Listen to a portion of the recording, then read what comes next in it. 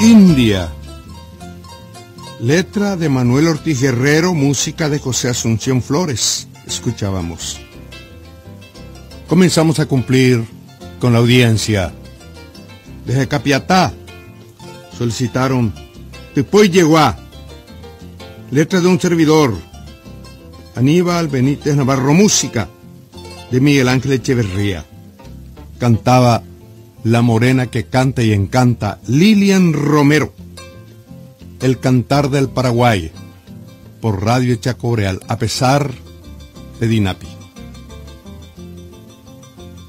La resolución de Dinapi de suspender las actividades de la gestión colectiva de APA por seis meses más una multa de 180 millones de guaraníes, va a recurrir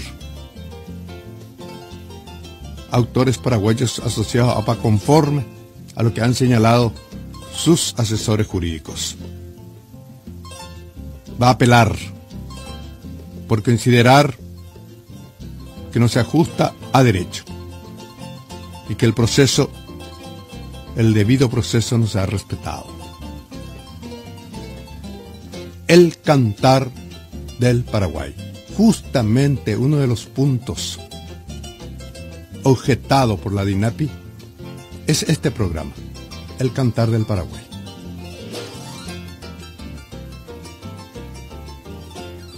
Y por lo visto no leyeron el estatuto de APA que uno de los objetivos de la entidad es defender, difundir, divulgar, proteger la cultura, el arte, la música del Paraguay. Y hay mucha malicia en el informe, cuando señala que anualmente los directivos ganan 220 millones de guaraníes. Jamás en mi condición de directivo de APA he visto ese dinero. Y todo el dinero que he ganado en APA ha sido por trabajos realizados, por tareas cumplidas, por honorarios profesionales, como este programa. Y nunca ha superado, quizás, quizás en pocos meses, algunos meses, algunos pocos meses, 5 millones de guaraníes mensuales. Por eso dije que hay mucha malicia. Lo que a mí respecta al menos. Cada uno será cargo.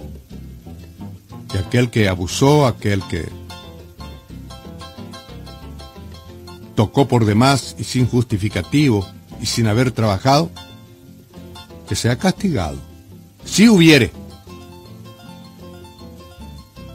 Simplemente hago esta aclaración en homenaje a la audiencia, a familiares, amigos, hasta en casa me dicen. ¿Dónde está ese dinero? Nunca llegó a esta casa. ¿A qué casa fue? ¿A quién mujer se le entregó? Hasta problemas familiares me trae el informe tendencioso de la DINAPI.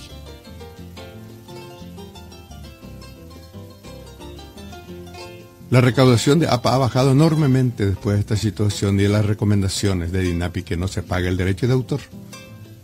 Y hoy creo que ha fallecido un socio. ¿De dónde, cómo y cuándo se le puede dar el aporte social que le corresponde a sus familiares por el fallecimiento? No estoy seguro, pero muy temprano hay gente de otra emisora me han llamado preguntando si es verdad o no y hasta ahora no pude comprobar que falleció una gloria, una joya de la música paraguaya. El director, el líder, el jefe de los cumbreños, Antonio Velar. Gran músico, gran compañero. No estoy seguro, vuelvo a repetir. Es la información que he recibido. Y ahí debiera de estar APA. Pero en estas condiciones imposible. como imposible va a ser pagar los derechos de autor, hacer los anticipos. Evidentemente, es una medida que hay que revisar y sobre todo hacer con justicia. Y cuando me dice, ¿por qué no se presentaron para el descargo? Yo fui el primero en decir y preguntar al gabinete de contabilidad. La contabilidad está a cargo de una empresa que se ha tercerizado, de un estudio contable. ¿Estamos en condiciones? Estamos en condiciones. ¿Podemos enfrentar? Podemos enfrentar. ¿Podemos hacer el descargo? Podemos hacer el descargo. La misma pregunta hice recaudación, la misma contestación.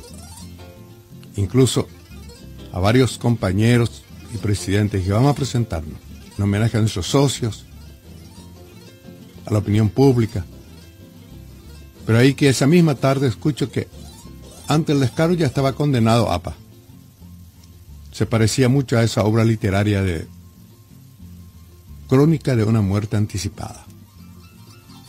Y evidentemente para ello la suerte estaba echada. Y en esas condiciones, y esos son los aspectos que estoy señalando, la desprogilidad, la falta precisamente de seriedad, le saca seriedad a su trabajo, por no decir torpeza. Cuando objeta un programa que Radio Chaco Real cede gratuitamente y que yo cobro, hasta tengo vergüenza de decir, honorarios profesionales con IVA 200 mil guaraníes por programa. Profesionalmente me desvalúo, pero evidentemente hay una persecución, no sé si a los directivos APA o al derecho de autor. Pero esa es la situación real y auténtica. En los estados judiciales, seguramente donde corresponda, evidentemente van a estar las gestiones sobre esta situación sumamente desagradable. La dinapia actúa en forma prepotente como si fuera la Gestapo.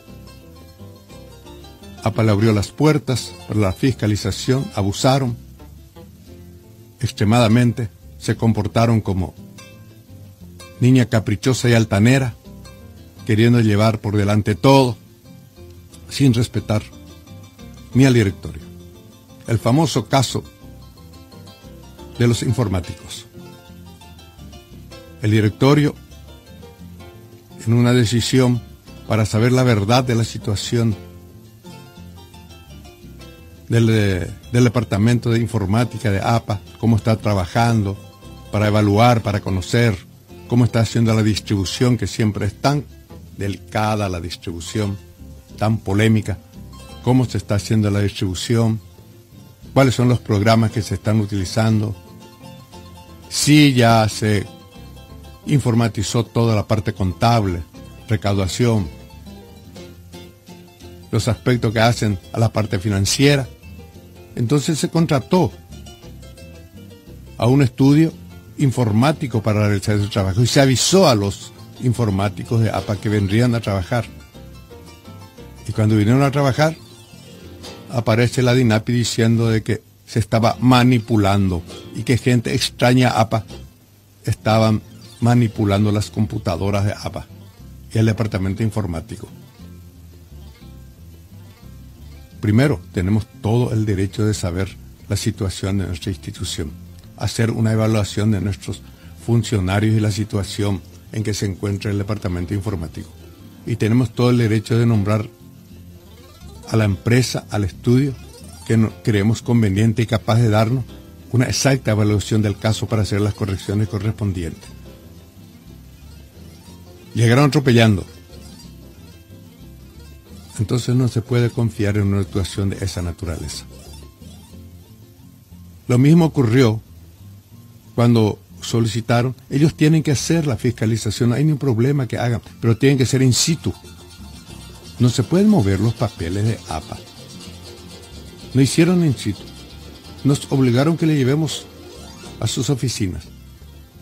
Siete mil copias hicimos y le llevamos. Y rechazó, porque no estaban foliados. Entonces, para cumplir con ello, contratamos pasantes para foliar, para ponerle número. Uno, dos, tres, cuatro. Ahí ya se presentaron de nuevo diciendo de que hemos contratado profesionales para adulterar las documentaciones. Siempre el escándalo. Muy apegado al escándalo. A la actuación de la Gestapo. Yo creo que alguna autoridad tendrá que poner coto a esta situación. Los únicos perdedores, los actores, los compositores, el derecho de autor en esta situación. Una lástima, da pena, una situación que desgasta, molesta, en donde muchas medias verdades. Si hay errores, a corregir. Si hay quienes han abusado de su autoridad e indebidamente han cobrado, que sean castigados. Jamás vamos a amparar ni vamos a apañar. Pero que sea una fiscalización clara, transparente, bien realizada y no condenar antes. Y no actuar de la manera en que se actúa. Ya me plagué todo, ya hice algunos descargos. El corte y volvemos.